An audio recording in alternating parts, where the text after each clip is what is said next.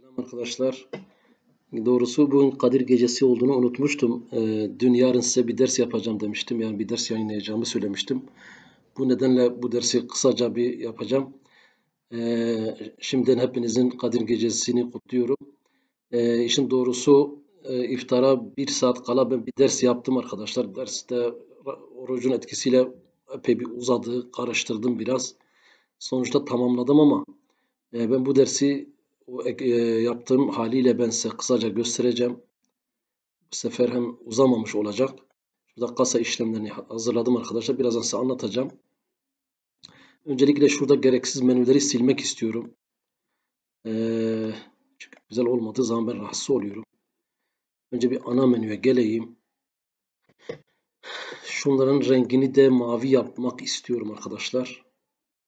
Zemin rengi mavi olsun. Şöyle. Bir de burada kullanmadığımız menüleri sileceğim. İhtiyacımız oldukça ekleyeceğiz arkadaşlar. Şöyle silelim. Şöyle. Şimdilik böyle olsun.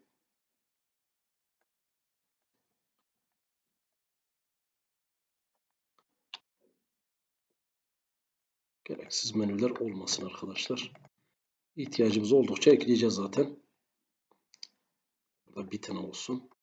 Tamam. Evet. Öncelikle neler yaptım? Şöyle bir göstereyim isterseniz önce. Şöyle carilerde şunu 2000, şunu da 2000 alacaklı yaptım şu iki cariyi. Programı şu anda kasada da hiç burada da kasa diye bir sayfa ekledim arkadaşlar. Kasa. Giren toplam, çıkan toplam, kasa bakiyesi diye 3 başlık ekledim. Sadece siz bir sayfa ekleyeceksiniz. Buraya giren toplam, çıkan toplam ve kasa bakiyesi yazacaksınız. Ondan sonra bir programı çalıştırayım ne yapıyor? Bakın şöyle geldim kasa işlemlerine. Burada nakit tahsilat ekle diyorum. Kimden tahsilat yapayım? Ahmet Demir'den. Ne kadar tahsil edeyim? 1000 TL. Açıklama yazdım. Kaydede bastım. Gördüğünüz gibi kasaya giren toplam 1000 TL. Kasa bakiyesi 1000 TL. Şimdi ödeme yapayım. E, hatta doğru işlem yaptığını görmek için bir tahsilat daha da yapalım. Bak dikkat ederseniz pardon e, tahsilat yapacağım tekrar. E, tekrar ekle diyorum. 2000 liraydı az önceki Ahmet Demir'in. Şu anda 1000 TL kalmış gördüğünüz gibi. Bir 500 TL daha tahsilat yapayım. Ve kaydet bastım. Tahsilatımı yaptım. Şu anda kasada 1500 lira var. Cariye baktığım zaman Ahmet Demir'in 500 lira borcu kalmış. Yine Nakit ödeme yapayım bu sefer. Kime ödeme yapalım? Güneş bilgisayara. Yine 1250 TL ödeme yapalım. Ve kasada şu anda 250 TL kasa bakiyesi gözüküyor. Carilere baktığımız zaman da 750 TL borcu şey alacağının kaldığını gördük.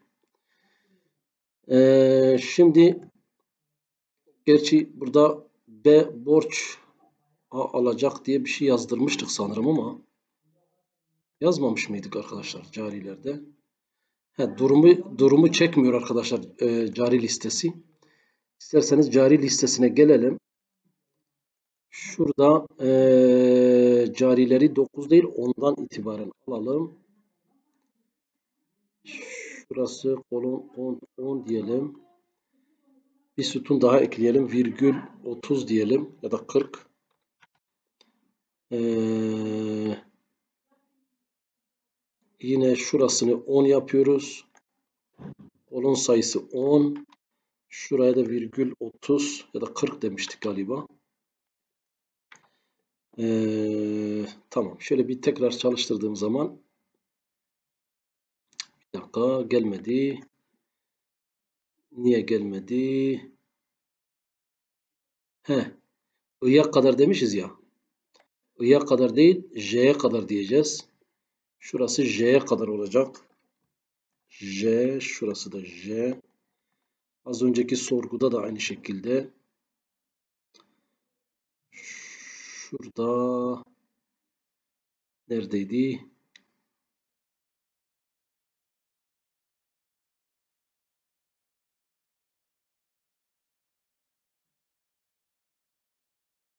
Şurası da J'ye kadar diyeceğiz.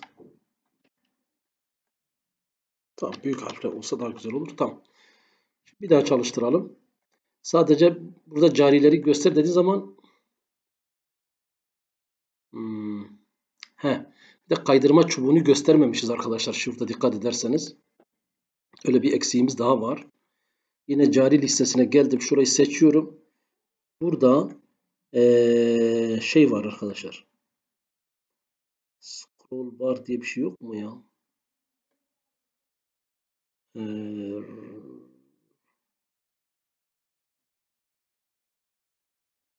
otomatik scroll bar devreye girmiyor. Bir saniye niye tam göstermiyor? 10. Kaç sütundur bu? Carilere bakalım. 1, 2, 3, 4, 5, 6, 7, 8, 9, 10. Tamam 10 sütun. 1'den 10'a kadar dedik. Ee, şuradan J'ye kadar dedik. 1, 2, 3, 4, 5, 6, 7, 8, 9, 10. Burası da tamam. 1, 2, 3, 4, 5, 6, 7, 8, 9, 10. Onun sayısı 10. A2'den J'ye kadar.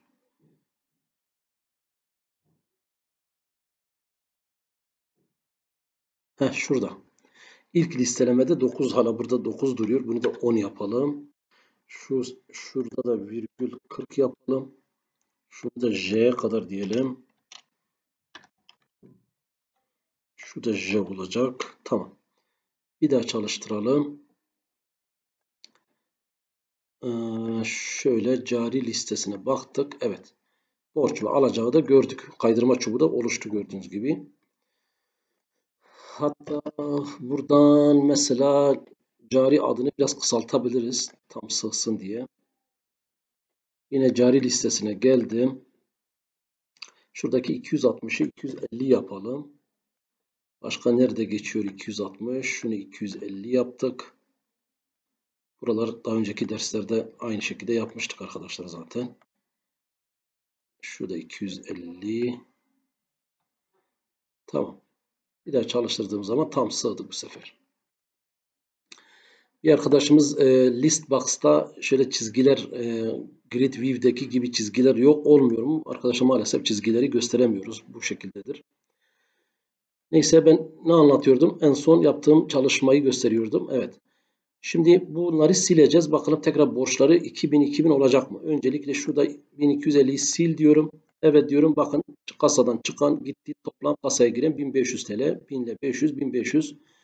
Şöyle cari listesine baktığım zaman Güneş bilgisayarın alacağı tekrar 2000 liraya çıktı. Son tahsilatlarımı da siliyorum. Bunu da sildim. Kasada 500 kaldı. İsterseniz cariye bakalım. Cari 1500 oldu tekrar Ahmet Demir'in borcu. Ve son işlemi de siliyorum. Kasada para kalmadı diyeceğim ama kasada eksi 500'e girdi. Burada bir hata var. Cariye baktığım zaman da 2500 oldu. Burada bir hata var. Bu hatayı bir göreyim niye yaptım. Neyse arkadaşlar öncelikle ne yaptığımı bir göstereyim size. Sonra o hatayı da buluruz. Nakit tahsilatın kaydet işleminin içerisine şunu yazdım arkadaşlar ek, ek olarak. Ee, kasaya giren kasaya giren arttır. Kasaya giren neydi? Şu kasadaki giren toplamı. Yani şurayı arttır dedik. Kaydettiği zaman yani tahsilat kaydettiği zaman dikkat ederseniz burada nedir? Tahsilat yap. Şu tahsilat yapın içerisinde kasaya gireni arttır. Tahsilat oranı kadar. Orada tahsilata ne yazılmışsa arttır. Hemen gelip prosedürü bulayım. Bak burayı yeni ekledim. Yeni eklendi. Siz hemen buraya cari borcunu düşürün üstüne kasaya giren artır diye bir prosedür adı yazacaksınız. Sonra geleceksiniz aşağıda kasaya giren arttır burada arkadaşlar. Sub kasaya giren arttır diyeceksiniz. Sheet kasa sayfasındaki A2'nin değeri kasadaki A2'nin değeri eşittir kasadaki A2'nin değeri artı TX'te tutar. TX'te tutar dediğimiz şuradaki yazılan tutar. Yani ben bunu çalıştırdım. Ben buraya örneğin tutar olarak 2, 2000 yazdığım zaman kasaya gidecek. A2'ye 2000 ekleyecek. Evet şurayı kasaya giren artırı bu şekilde yazdık. Bir de kasa toplamları diye bir prosedür var burada. Kasa toplamları da hemen size burada göstereyim. Kasa toplamları diye bir prosedür daha oluşturmuşum. Burada dedim ki kasadaki C2 eşittir. Yani şuradaki C2 eşittir. Şurası. Giren eksi çıkan demiş. Hemen bakalım. C2 eşittir. Kasadaki A2 eksi kasadaki B2. Dolayısıyla her seferinde kasadaki toplamları da hesaplasın diye kasa toplamları diye bir prosedür adı yazdım buraya. Ve prosedürü de şurada oluşturdum. Size aynısını oluşturacaksınız. Şimdi ödeme kısmında ise ödeme yapta ise arkadaşlar yani eğer ödeme aç, açmışsak kasadan çıkan arttır. Kasadan çıkan arttır. Yani şu kasadaki çıkan toplamını artıracak. Çünkü ödeme yaptığı için kasadan burası artacak. Örneğin kasada burada 0 varsa bir ödeme yaptıysak burası 500 olacak. 500 lira ödeme yaptıysak 500 olacak. Kasa bakiyesi de sıfıra düşecek otomatik. Ee, kasadan siz geleceksiniz ödeme yap prosedürünüzü bulacaksınız. Buraya kasadan çıkan arttır. Artık istediğiniz ismi verebilirsiniz. Ben böyle isim verdim. Hemen kasadan çıkan arttıra da e, sap kasadan çıkan arttır diye bir prosedür yazacaksınız ve sheet kasadaki B2'nin değeri eşittir. Kasadaki B2 artı TX'de tutar diyeceksiniz. Ve yine kasa toplamlarını bulması için de şu prosedürü de buraya yazacaksınız. Yani bu sayfada eklediğim sadece bu. Şimdi geldik kasa işlemlerine. Kasa işlemlerinde hatırlıyorsanız burada bir e, şey vardı arkadaşlar. Bir e, label oluşturmuştuk. Onu sileceksiniz. Ve buraya bir text box hemen burada zeminli normalde zemini beyazdı. Ve bunun zeminini e, siyah yaptım. Yazı rengini de yeşil yaptım arkadaşlar. En parlak yeşili seçtim. Siz istediğiniz şekilde renklendirebilirsiniz. İsim olarak TX'te K kasa için K harfi K giren demişim. TX'te K giren. Yine aynı teksti tx'te k çıkan cikan yazacaksınız arkadaşlar. Cikan. Ç, ç harfi kullanmayın.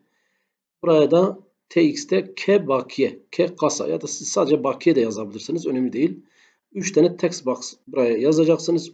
Label'larını da buraya yazdıktan sonra buraya bir e, buton ekliye, ekliyorsunuz arkadaşlar. Buton, bu butonun kopyasını aldım. İsmini değiştirmedim gerçi. İsmini de değiştirebilirsiniz. Üzerine bir simge koydum ve sil dedim. Şimdi önemli olan buranın içine yazdıklarım arkadaşlar. Bu silin içine girdim. Ve burada şunu yazdım.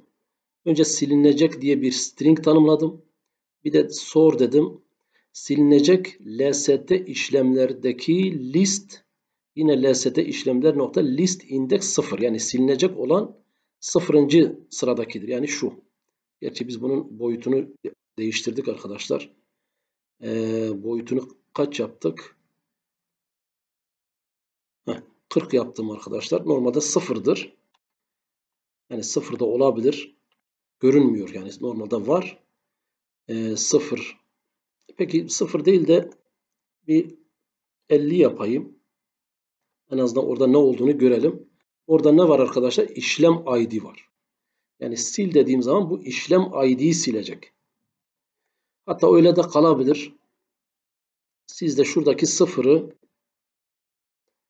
e, şuraya yazdığımız hareket listelerinin içindeki şu en baştaki sıfırı 50 yapın. Şunu da 50 yapın arkadaşlar. En azından neyi sildiğimizi de bilelim. İşlem ID siliyoruz. Bakın. Silin içine girdim. Ve dedim silinecek olan sıfırıncı kolondakidir. Sonra bir soru sordurdum. LST Bak LST işlemler nokta list yine LST işlemler list index 2 ve ve işlem silinsin mi? Yani eğer burada ikinci sırada ne var? İşlem tipi var. Bak ben bir örnek tekrar yapalım. Örneğin ben buradan Ahmet Demir'i seçtim. 1000 lira ondan tahsilat yapayım. Kaydet dedim. Tamam.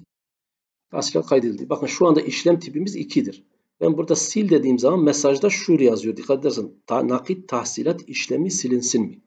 Bu büyük harfle burada gözüken nakit tahsilat kelimesi şuradan geliyor arkadaşlar. Şuradan geliyor. Bakın şu LST işlemler nokta list parantez içinde lst işlemler nokta list index virgül 2 ve birleştir dedim. İşlemi silinsin mi? Ondan sonra şöyle bir şey yazdım.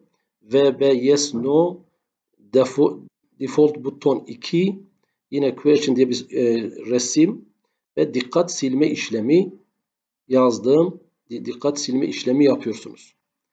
Aşağıda dedim ki eğer sor 7 ise yani hayra bastıysa exit sub yani aşağı doğru gelme. Yine dedim ki eğer işlemlerdeki şey LST işlemlerdeki list index 2 eşittir nakit tahsilat ise bakın şu kelime çok önemli. Eğer siz bu buranın içerisine e, nakit tahsilat yani kısacası şunu söylüyorum. Şurada nasıl yazdıysanız, küçük harfle yazmışsanız, nakit tahsilat yazmışsanız şu mesaja da küçük harfle nakit tahsilat demeniz lazım. Biz peki bu kelimeyi biz nerede yazdırıyoruz? İşlemde yazıyoruz arkadaşlar. Şurada yazdırıyoruz dikkat ederseniz. Şurada kaydederken LBL başlık nokta caption diye atıyoruz. Yani harekete yani şu kasa hareketine şöyle nakit tahsilat diye atıyoruz arkadaşlar. Yani şunu söyleyeyim size. Kasa işlemlerine gelip ekle dediğim zaman şu başlığı görüyorsunuz şu yukarıda nakit tahsilat. Nasıl yazılmış? Büyük harfle yazılmış. Siz örneğin buraya küçük harfle yazmış olabilirsiniz. Ne büyük harf, nakit, T büyük harf, tahsilat yazmış olabilirsiniz. Bu durumda siz şu silin içerisine e, kasa işlemleri, heh, şuradaki silin içerisine Oradan nasıl gözüküyorsa aynı şekilde yazmanız lazım. Hatta başına bir de trim yazarsanız daha da güzel olacak. Çünkü boşluklu olabilir. Boşlukları atsam. Dedi ki şu seçilen listede sile basıyorum ya. E, list index ikinci sıradaki nakit tahsilat ise burada dedim e, eğer LST işlemlerdeki list index 2 Nakit tahsilat ise yani dolayısıyla biz burada tahsilat işlemini sildiğimizi anlayacağız.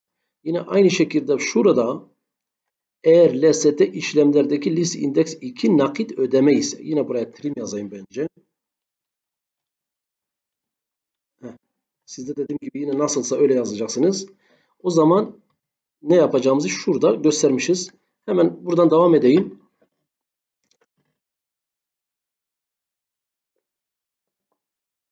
Şimdi nakit tahsilat siliyorsak cari borcunu arttıracağız arkadaşlar. Çünkü adamın borcu 2000 liradır. Tahsilat yapmışız 1000 lira düşmüştür. Dolayısıyla o e, borcun artması lazım. Cari borcunu arttır diye bir prosedür. Bir de kasaya giren düş. Kasaya gireni düş. Çünkü tahsilat yapıldığı zaman o tahsilat gelip kasaya giren olarak giriyor. Onu da düşürmemiz lazım. İki tane prosedür var. Bu iki prosedür önemli. Birazdan onları da göstereceğim. Peki bunları yaptı. Gitti carinin borcunu artırdı farz edelim. Kasaya da gireni düşürdü. Ne yapacak sonra?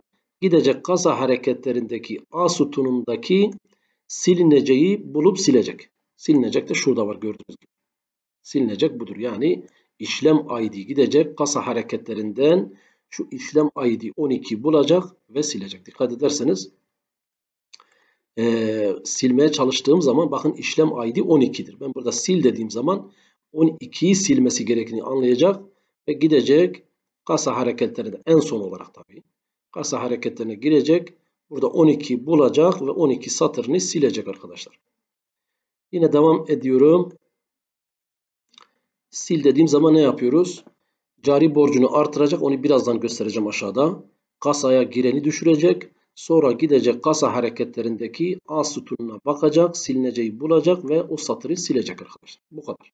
Sonra da bir mesaj verecek ve silme işlemimiz bu. Yine gelelim en son burada prosedürden çık ve end if. Niye end if? Çünkü yukarıda if kullanmışız. Bunun da end if'i burada. Şu prosedür böyle. Şimdi alttaki prosedür de onun aynısı arkadaşlar. Sadece eğer seçtiğimiz satırdaki ikinci kolonda nakit ödeme yazıyor ise bu sefer carinin alacağını artıracak. Çünkü ödeme yapmışız ona. Ona ödeme yaptığımız için alacağı azalmıştır. Örneğin 2000 lira alacaklıyken biz ona 500 lira ödeme yapmışız. Alacağı 1500'e düşmüş. Ne yapacak? O 500 tekrar yerine koyması için carinin alacağını artıracak.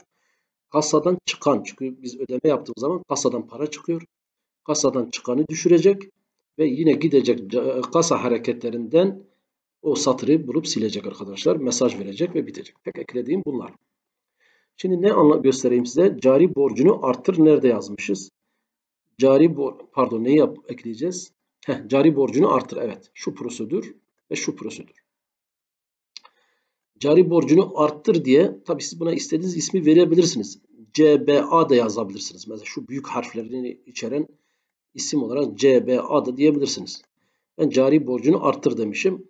Şimdi burada x diye bir değişken, y değişkenimiz, cr diye bir e, worksheet değişkenimiz var. Sayfa değişkeni. Burada set demişim. Set cr sheet cariler demişim. Carileri cr'ye atadı. Artık sheet cariler yazmamıza gerek yok. Şu kelimenin tamamı şu iki kelime yerine sadece cr ile temsil edeceğiz. Pardon arkadaşlar. Sonra y ile de cariler sayfasındaki dolu satır sayısını öğrendim. Y eşittir cr nokta range a'da işte 100 bine kadar git en sona git ve dolu satırı bul. Yani gidecek cariler sayfasına şuraya gelecek kontrol klavyedeki aşağı ok tuşuna basacak ve dolu satır sayısını buradan tespit edecek. Oradaki kod bu. Şu kod odur arkadaşlar. Yine bir döngü yaptım. For x eşittir 2'den y'ye kadar. Y de şuradaki satır sayısı, doğru satır sayısına kadar git. Eğer cari sayfasındaki a'nın x'inin değeri listedeki, bakın şurası çok önemli. LST işlemlerdeki e, LST işlemler list index 3. Bakın neden 3 olduğunu size söyleyeyim. Bakın çalıştırdığım zaman bu nedir? 0. 1, tarih 1, nakit işlem tipi 2, cari ünvanı 4 aslında. 3 var, 3 gizlidir. Hatta şöyle bakalım. Şurada 3 arkadaşlar gizlidir dikkat edersen. Yani gizli derken sıfırdır.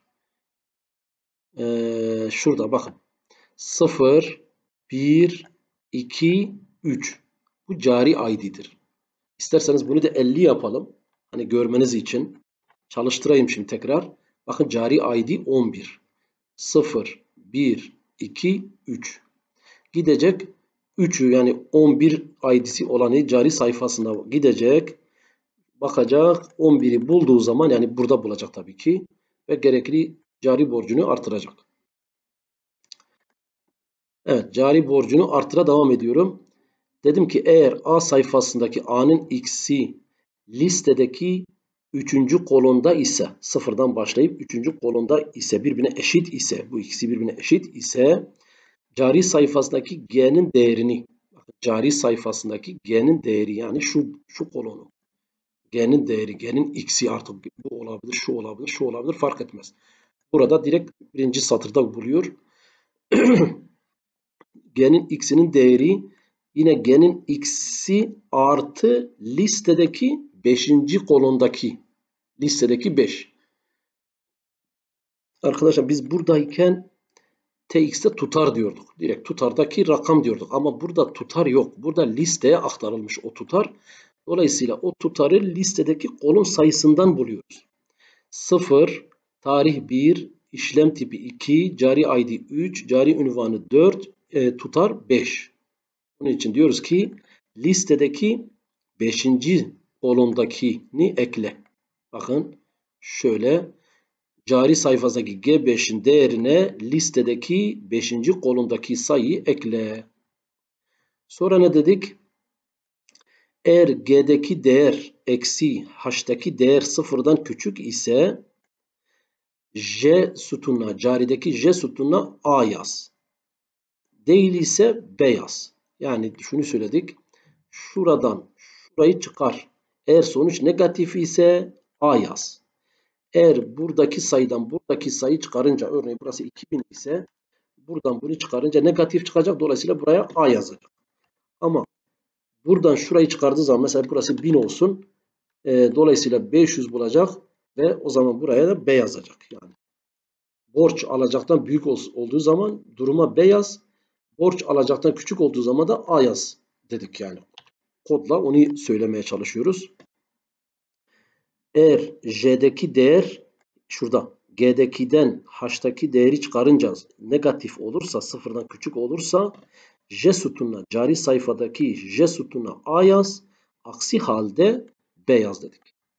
Ve CR'yi nothing yedeği boşaltırdık o değişkeni. Exit sub yazdık ve bitti. Cari borcunu arttır bu şekilde. Evet şurayı anlattık arkadaşlar. Şu prosedürün nasıl yapıldığını anlattık. Şimdi kasaya giren düş demişiz. Kasaya giren düşü de hemen şurada.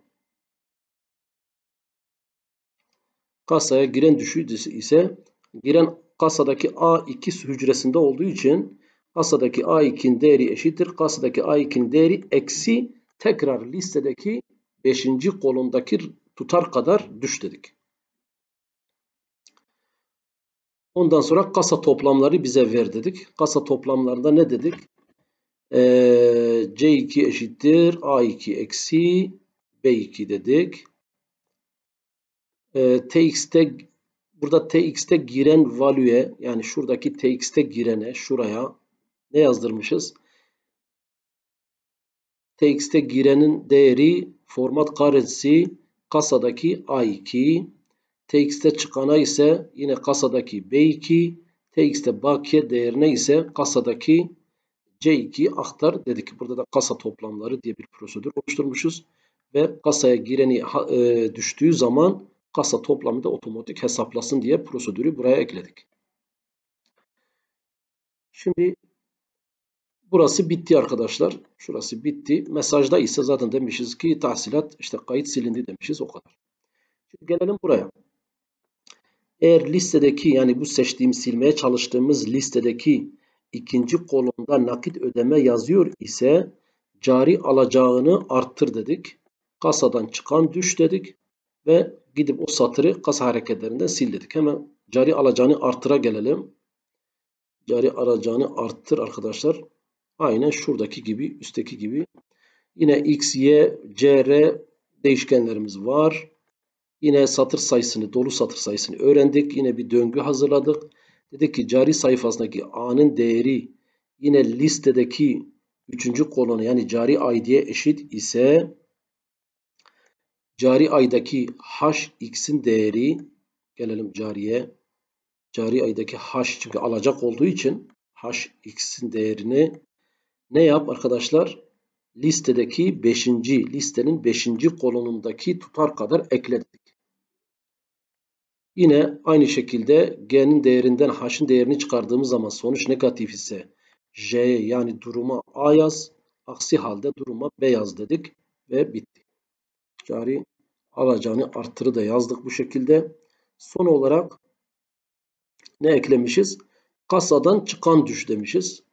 Kasadan çıkan düş. Hemen kasadan çıkan düş. Burada da çıkanı biz B sütununa yazdığımız için B hücre B2 hücresine yazdığımız için kasadaki B2 eşittir. Kasadaki B2 eksi listedeki 5. kolundaki tutarı düş. Evet durum bu. Ee, bir de şu son olarak form açıldığı zaman şu form initialize kısmına kasa toplamları prosedürünü de ekledim arkadaşlar. Çünkü hemen listelediği zaman kasada ne olup olmadığını görsün diye şu kasa toplamları prosedürünü de en sona ekleyeceksiniz şuraya. Şimdi isterseniz bir daha çalıştıralım. Mesela buna 2000 lira yazayım. Manuel olarak. Buna da 2000 lira yazdım. Kasa hareketlerini de silelim. Ee, kasada da para olmasın. Şu, şu anda her şey tamam. Bakayım hata var mı? Geldim. Nakit tahsilat. Kimden tahsilat yapalım? Ahmet Demir'den. Ne kadar tahsil edelim? 2000 TL. Kaydet dedim. 2000 TL kasaya girdi.